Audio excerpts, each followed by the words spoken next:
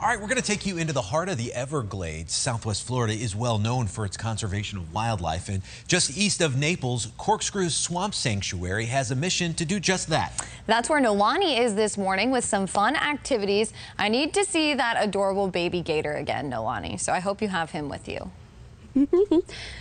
Here she is, and uh, we're going to be talking about a lot, but first, obviously, the the person who's really taken the show here. Anna Faith, tell me a little bit about what who you have here. This is a baby American alligator, mm-hmm. and she's about six months old. We have two that live here with us in the Nature Center that help us teach educational programs. So they came from a farm, and we take them out usually on field trips or large groups of kids.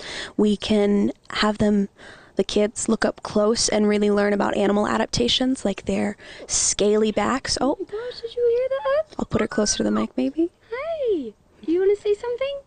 No, I think she's done. Yeah. She's shy. But they, just... they make that gulping noise to call for their mothers in nature. So, but she's safe here. She has no predators in her tank or in my hands. Oh my gosh. Okay. I'm also going to bring in Sean. She is the associate director here, and she's going to tell us a little bit about these programs that we were referring to. You guys stay busy year round. How's just this just one of many, many things that you guys do here? We offer both children and adult programs, education programs. So we have second and fifth grade school tours, field trips. And we have adult programs like bird walks and lunch and learn. Today we have a lunch and learn all about the bald cypress forest. Um, and there are many ways that people can get involved um, here at Corkscrew as well. They can join as a member, they can um, volunteer. We have over 120 active volunteers, and they can um, walk the raised boardwalk as well. Awesome. Awesome. And um, that we will continue kind of showing you some of those things that uh, they've been telling us about that they do here year round. Yeah, just take one good close look at this cutie.